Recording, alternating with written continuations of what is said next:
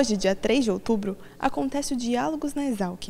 Desta vez, com a presença do ex-ministro da Agricultura, Alisson Paulinelli, que fala sobre agricultura sustentável e também sobre os desafios do agronegócio.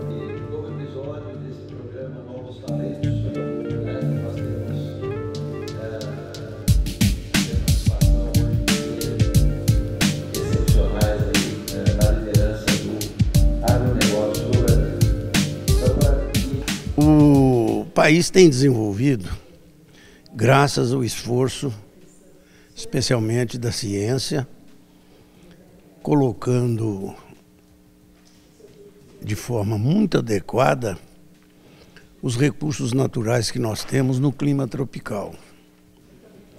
Quatro mil anos na Terra se desenvolveu a agricultura de alimentos nas regiões temperadas as tropicais sempre ficavam relegadas ao seu canto para produzir só produtos tropicais, como era o caso do Brasil com café, com cacau, com a madeira tropical, com a borracha e assim não passávamos muito disso. Foi exatamente o embate da ciência com a natureza tropical que nós conseguimos provocar algumas inovações que foram fundamentais.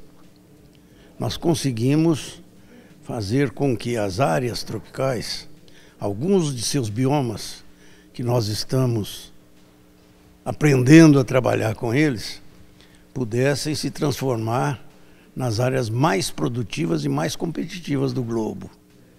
E com vantagens comparativas, porque essa competição não se faz só em qualidade, em preço, se faz também em sustentabilidade. E aí está a grande diferença. Como também desenvolvemos pela tecnologia, pela ciência, e essa casa tem muito disso, o desenvolvimento de bioenergia, que o mundo precisa. Piracicaba sempre teve uma liderança natural, desde o seu nascimento, na área das ciências agrárias. Foi através dela que se conseguiu muitas inovações no país.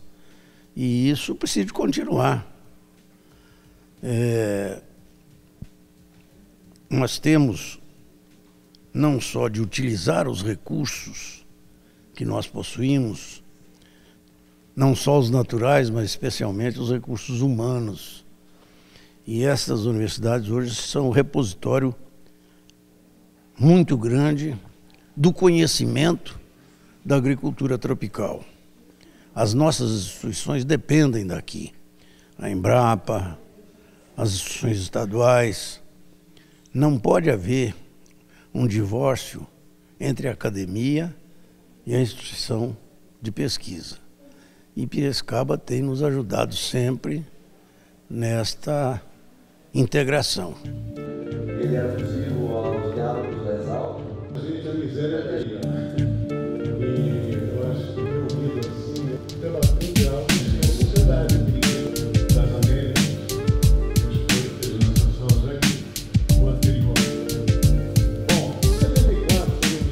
Com imagens de Moacir Gibim e edição de Danilo Rodrigues, informou Ana Carolina Brunelli para o Exalc Notícias.